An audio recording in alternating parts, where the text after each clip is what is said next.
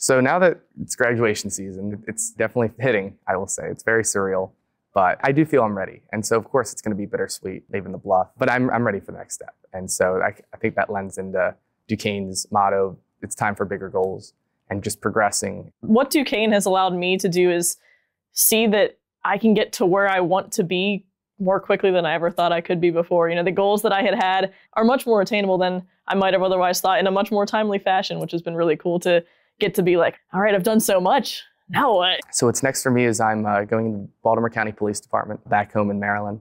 Uh, it's my father's department, so it's been around me my whole life generated my interest in law enforcement. So, my big goal in this life for the past 10 years or so has been to be the first female to win the Grammy Award for Producer of the Year. Being a woman in this industry is obviously something I take very close to heart, and no female has ever won that award. So, Duquesne has shown me that I got this. It's just so exciting to see all the students and their families here.